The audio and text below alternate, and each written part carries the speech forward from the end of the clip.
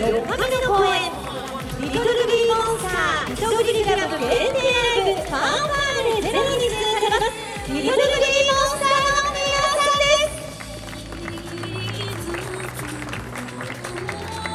す。さあリトルグリー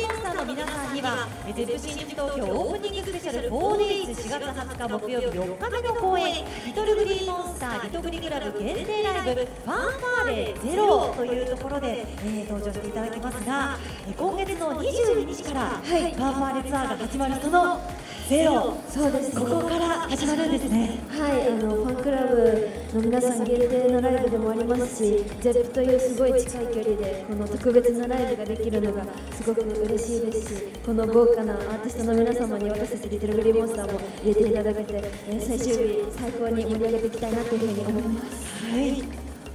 あの金さんずっと古田新さんがですね。先ほどあのすごい映ら映り